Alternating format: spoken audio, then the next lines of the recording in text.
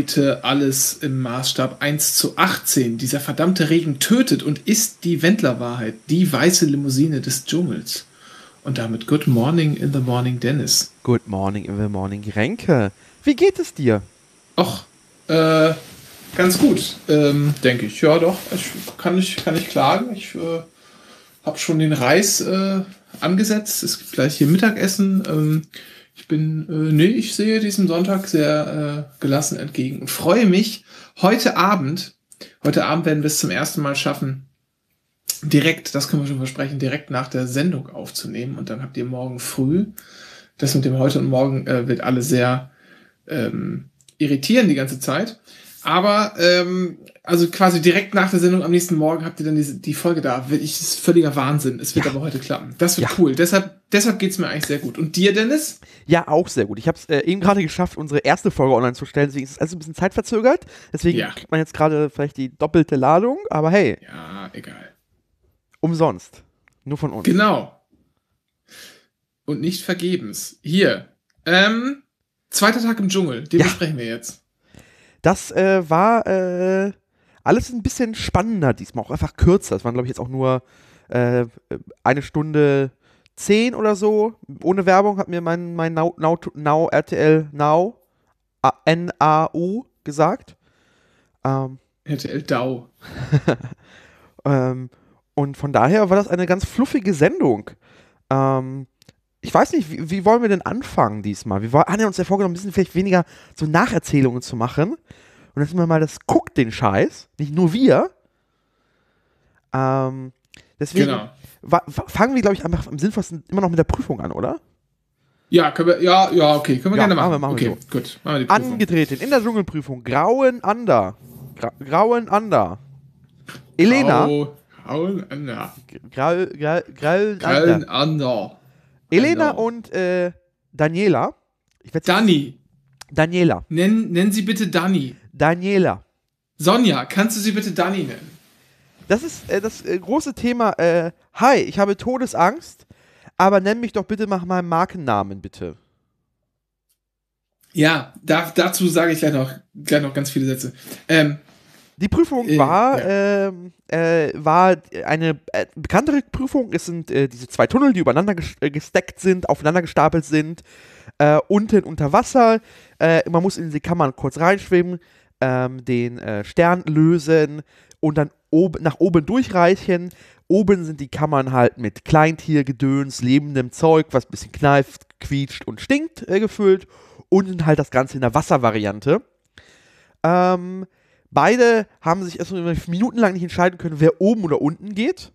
Ja. Ähm, und dann sind sie rein und sind halt äh, an einer Mischung zwischen Platzangst, äh, Wasserangst und den Tieren an sich einfach gescheitert und haben immer wieder jede Kammer dann geskippt, bis dann die Zeit auf einmal aufgelaufen ist.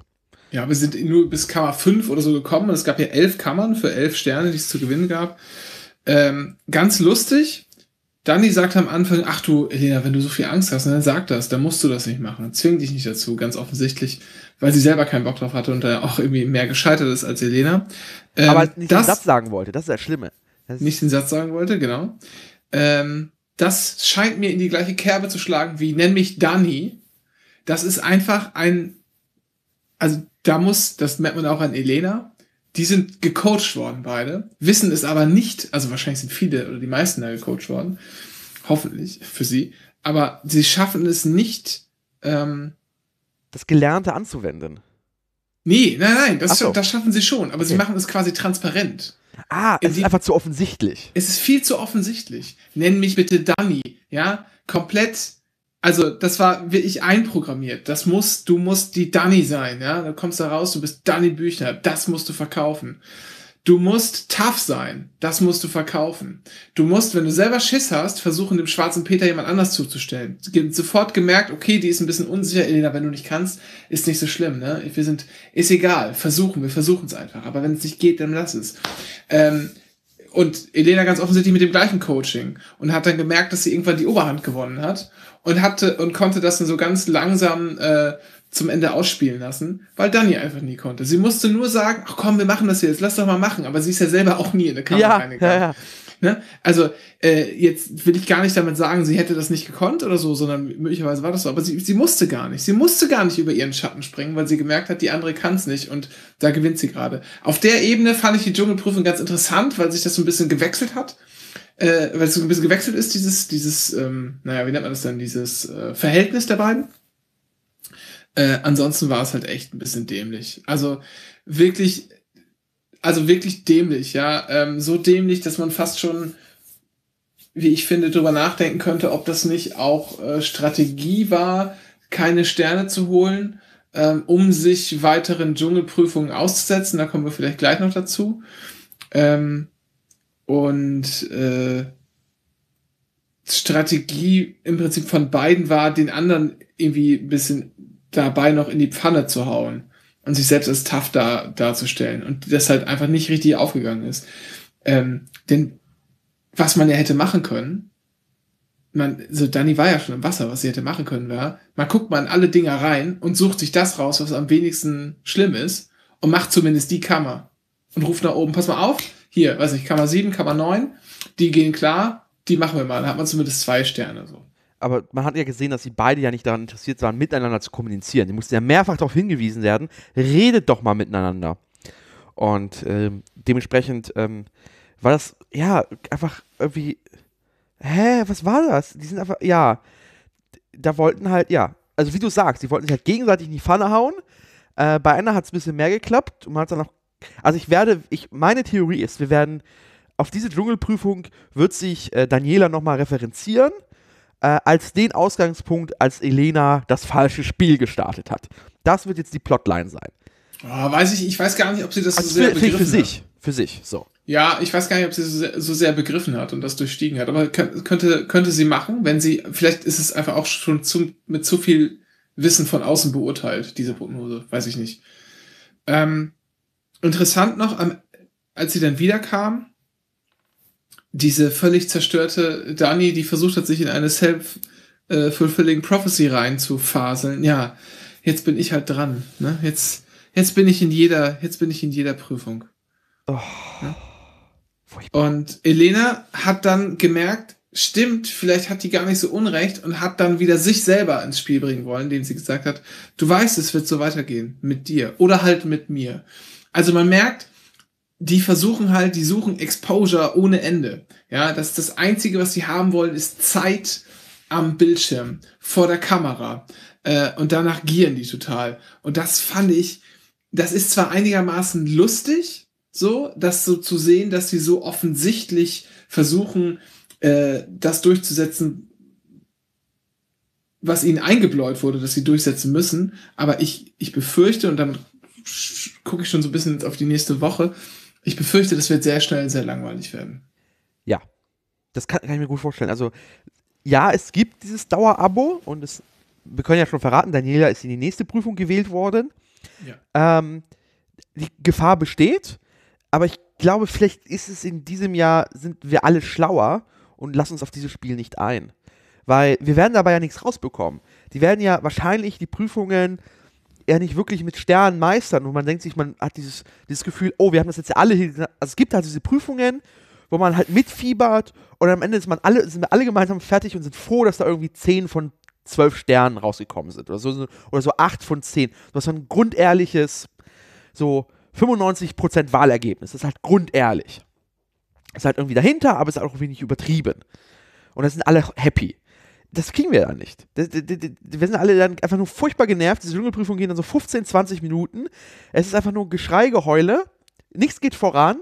Und man denkt sich so, "Äh, mach, mach irgendwas. Aber ja, und ich hoffe, dass das schnell genug übersättigt und man sich anderen Kandidatinnen äh, zuwendet, äh, um diese in diese Dschungelprüfung zu nominieren. Das wäre meine Hoffnung zumindest.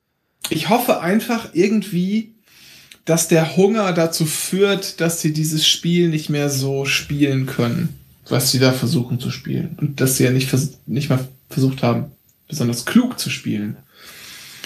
Ähm, ja. Alternative Hoffnung ist einfach, dass RTL die Gelegenheit nutzt, bei diesen Einzelinterviews ähm, diese Information, dass die ja relativ, ähm, also wenn sie diese Prüfung, diese Strategie weiter fortführen, dass RTL hoffentlich die Gelegenheit nutzt, bei diesen Einzelinterviews den einzelnen Leuten das mal zu stecken und dass man ein bisschen wieder Misstrauen sieht. ja. Ein bisschen, bisschen Krawall.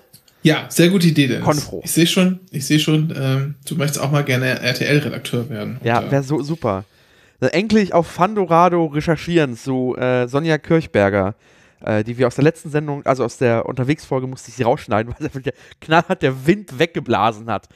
War der Wind genau dann angesetzt, als wir über sie gesprochen haben und war dann aufgehört, als wir fertig waren. So Ja, du hast- irrelevant ist diese Frau. Du hast auch keinen Puschel, ne? Das ist. Äh, Ja, ja, ich habe noch keinen Puschel. Ja, müssen wir mal gucken. Ähm, so. Ja, was gab's, was gab's noch? Du hast, glaube ich, noch ein schönes, schönes äh, Thema rausgreifen wollen, das du besprechen möchtest. Ähm, Und zwar möchtest du, glaube ich, möchtest du den RTL, glaube ich, loben. Für seine, für seine Achtung, für seine Menschlichkeit. na, das heißt Menschlichkeit für seine Empathie, glaube ich. Ähm, am Anfang gab es diesen Beitrag, ähm, Anja Rutzel beklagt ja so ein bisschen, ähm, dass die, die Hässlichkeit, die du auch angesprochen hast, von Elena ja gar nicht so rauskommt, sondern es ist ja recht zurückhaltend ähm, und versucht halt ähm, Kontenance zu wahren und einfach sich selber, also scheinbar, da, da hat sie, scheinbar hat sie daran gearbeitet, wenn ich das aus den bisherigen Erfahrungswerten, die mir erzählt wurden, über ihre Auftritte im Sommerhaus so gehört habe. Ja. Ähm, und der erste Beitrag handelte halt davon, dass sie ähm, ähm, Toni ähm, erzählt hat, was sie nach dem Sommerhaus erlebt hat. So an Hass online. Sie haben sich gegenseitig ausgetauscht. Ähm, es ging halt auch so weit, dass sie darüber berichtete, dass irgendein Idiot halt sie beim Jugendamt angeschwärzt hat. So. Ähm, und RTL hat es dabei aber trotzdem geschafft, durch den Aufbau und den Schnitt ähm, und auch durch die Musikauswahl, gerade der zum Ende hin der Inter Interstellar Soundtrack, der da verwendet wurde, muss man RTL halt immer wieder auch für, allein für die Musik loben. Ähm, man hatte das Gefühl, dass RTL jetzt hier das nicht ausschlachtet oder das Häme, sondern es war so ein Empowerment. So am Ende hin hat man gemerkt, die, die, die Statements, die halt so positiv waren und das, das lassen wir uns nicht an uns kriegen, waren halt zum Ende hin geschnitten und es war ein sehr Empowerment. Und auch die Moderation dafür, für die Sendung, äh, für diesen Beitrag war halt auch nicht chemisch, sondern war halt nur selbstironisch vor allem. Und es war einfach positiv zu sehen, dass diese Sendung der menschlichen, menschlich, menschlichen Erniedrigungen und Lows und äh, Häme und Demütigung schafft beim richtigen Thema es dabei nicht, also dabei ist äh, das nicht so anzugehen, das Thema. Das war nicht sehr, sehr schön.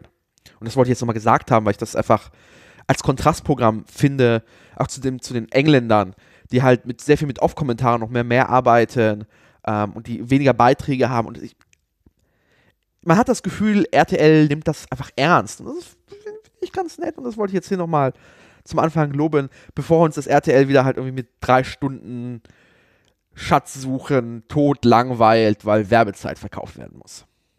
Ja, also ähm, diesen Kontrast habe ich erst, also das habe ich gar nicht so wahrgenommen. Ähm, äh, äh, erst so, erst im Nachhinein ähm, wurde ich äh, darauf, ich sag mal hier im, im weitesten Sinne von äh, äh, Der Schattenredaktion. einer, einer bekannten Person darauf angesprochen, äh, die in so ein ähnliches Horn blies.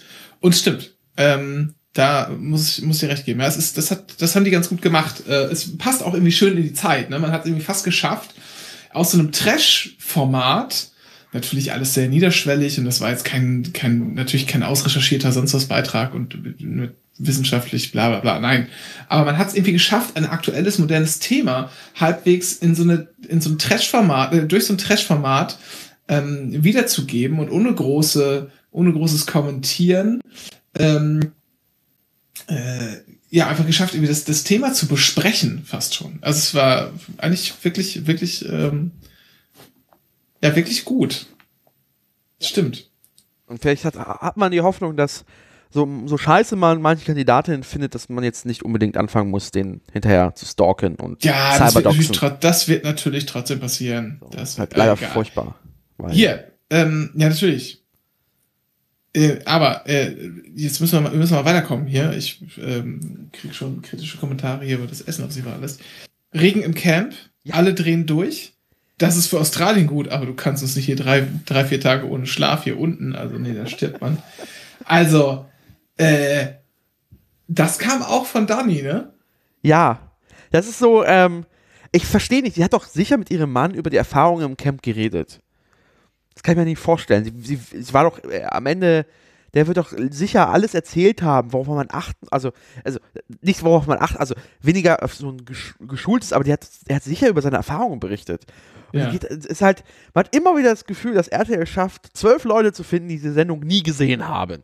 Na, das glaube ich nicht. Das glaube ich, das glaube ich diesmal gar nicht übrigens. Ja. Aber ich weiß, was du meinst. Die Situation, das muss doch bewusst sein, ja. Und ich finde auch, also man darf nicht zu viel jammern, sonst macht man sich halt auch unbeliebt, ne? Also es gibt halt eine, es gibt halt einen Unterschied zwischen ähm, ich beschwer mich und lass mich zum Opfer machen, stehe aber irgendwie noch drüber und ich werde total quengelig, weil dann werde ich irgendwann fallen gelassen. Mhm. Ähm, guter Unterschied natürlich, äh, fallen gelassen wurde zum Beispiel Georgina. Georgina ja. Fleur. Die ja. wurde fallen gelassen, weil die zu quengelig war. Ja. Nicht, nicht uninteressant, aber halt zu quengelig. Äh, und Larissa Marold hat eigentlich, ist bis heute immer noch das Paradebeispiel, wie man es macht. Ja. Quengelig sein, aber am Ende äh, drüber stehen und gewinnen. Also, da muss sie, muss sie gut aufpassen. Und das wirkte aber auch nicht überlegt. Das kam, glaube ich, so, weil sie wie ich angefressen war, dass es regnet.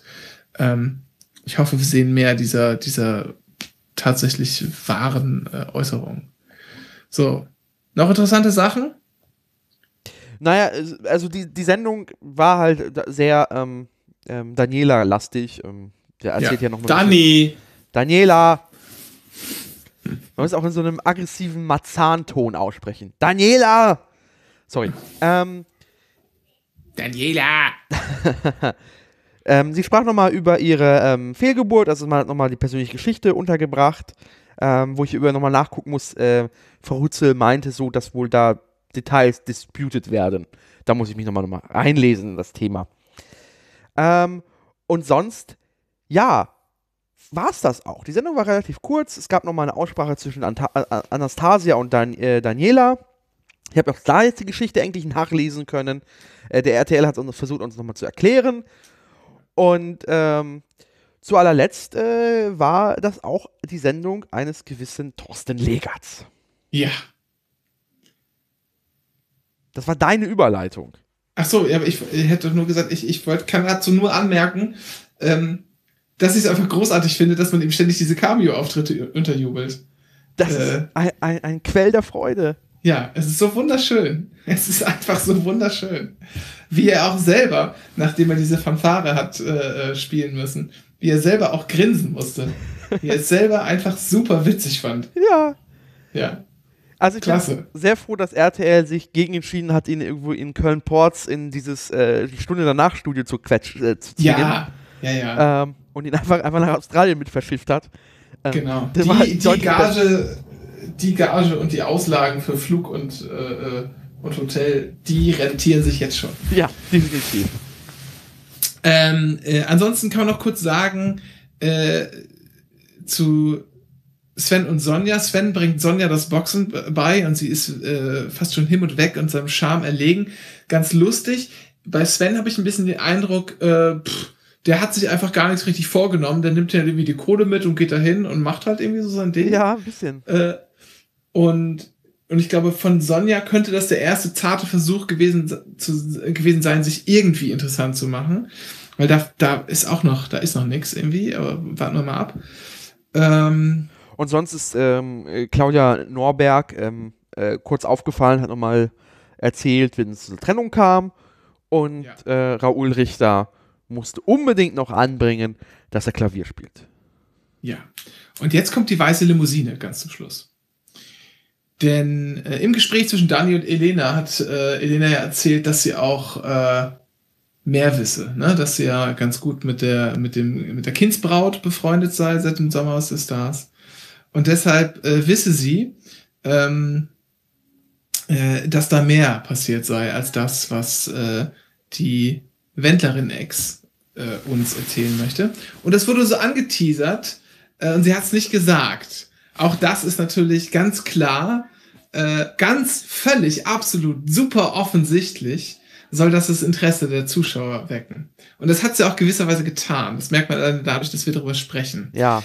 Ähm, und auch hier gilt wieder, äh, das, was vorhin schon gilt, ist sehr offensichtlich, dass das platziert wurde. Die Frage ist aber, weil das zu offensichtlich alles passiert und weil die irgendwie es nicht richtig schafft, mit ihrem, äh, mit ihrem Coaching, ihrer Strategie umzugehen, sodass es halbwegs professionell wirkt, ähm, stellt sich die Frage, ob sie es wissen wird, diese Geschichte, die da schlummert, ganz egal welchen Wahrheitsgehalt sie am Ende hat, äh, ob sie es verstehen wird, das vernünftig auszuspielen. Ähm, denn es könnte so eine Art weiße Limousine werden. Was ist die weiße Limousine? Habe ich das schon mal erzählt? Keine Ahnung. Also Nein, die weiße Limousine. Äh, also bis vor, also ich glaube bis ins Jahr 2001 gab es. Äh, das ist eine Wrestling-Nummer, oder? Richtig, genau. Ah.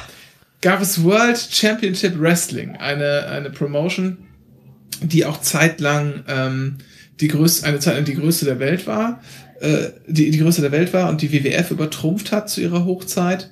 Ähm, dann aber untergegangen ist aus diversen Gründen. Auch, unter anderem auch, weil man zu viele konfuse Storylines hat laufen lassen und die Leute einfach nicht mehr auch nicht mehr verstanden haben, was da passiert und so das Interesse verloren haben. Also confuser als so eine Daily Show Soap oder was? Also wirklich. Ja, so. ja, ja, also wirklich komplett bescheuert. Und eine Sache, eine Sache war die weiße Limousine. Äh, und es gab einen, oder war es ein weißer Hammer? Das kann auch ein weißer Hammer gewesen sein.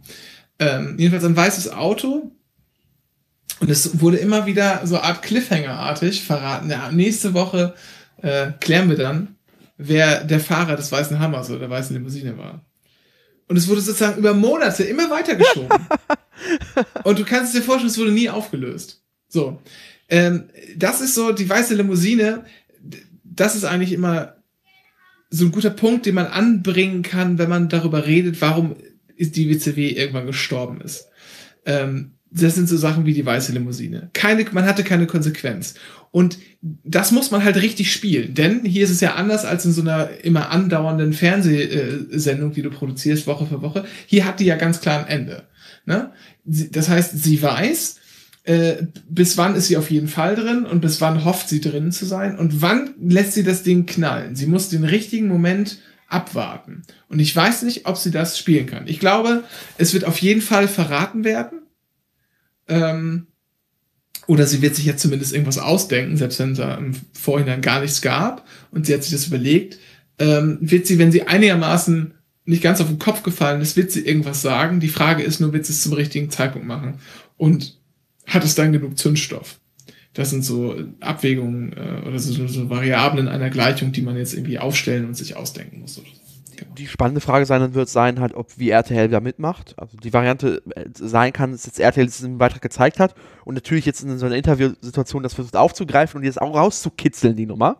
Na ja, klar, das wird auf jeden Fall passieren. Davon so. gehe ich fest aus. Äh, und wenn sie da schafft, ähm, da interessante Bits zu liefern, ohne die gesamte Geschichte zu verraten, dann kann da RTL immer noch einen Beitrag drauf schneiden und sie hat drin, ist drin. Aber wenn sie halt komplett mauert, dann wird auch RTL dann sagen, naja, da ist halt nichts und dann kann man auch nächstes Thema an sich schnappen. Also es muss halt diese Balance finden zwischen so, so, so Bits, die man halt mal hinwerfen kann ja. und äh, aber nicht gleich die Geschichte, ganze Geschichte verplappern. Äh, mal schauen. An RTL-Stelle würde ich es so machen, dass ich natürlich versuche, im Interview ein bisschen aus ihr rauszukitzeln. Aber wenn da nichts kommt, würde ich dazu übergehen, zu versuchen, die Wendlerin-Ex anzustacheln und ihr davon zu erzählen, dass da irgendwie gebrabbelt wird, um zumindest einen Streit zu provozieren. Ja. Und über diesen Umweg möglicherweise dann ein, äh, die Geschichte rauszubekommen. Mal gucken, wie es passiert. Im Zweifel ist es eine billige Schatzsuche mit beiden. Das ist oh, ja? der, der, einfachste, primitive Weg, um einfach zwei Leute mal dazu zu zwingen, mal miteinander zu reden. Sehr gut. Daher. Gute Idee. Aber warten wir ab. Mal schauen, was heute Abend passiert. Dennis, ich wünsche dir äh, einen schönen Resttag. Ich muss jetzt hier weiter kochen. Und äh, dann hören wir uns nachher. Bis dann. Bis dann. Tschüss. Tschüss.